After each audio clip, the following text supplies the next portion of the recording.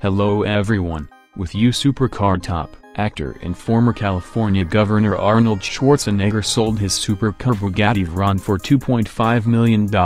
This is stated in a message on his page in the social network.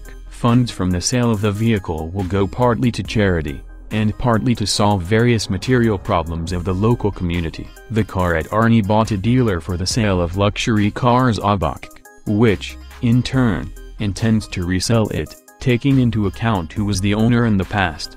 In general, the hypercar whose run is 1,600 kilometers, went to Schwarzenegger in 2014. It is equipped with an 8-liter W16 engine with 4 turbochargers. The unit produces 1,200 horsepower and 1,500 newton-meters of torque. To accelerate to 100 km per hour Bugatti Veyron Grand Sport Vitesse spends 2.6 seconds. The maximum speed of a hypercar is 410 km per hour. In addition to Bugatti, Schwarzenegger has many other machines, for example, the Austrian company Kreisel built for Arnold the world's first electric Hummer H1.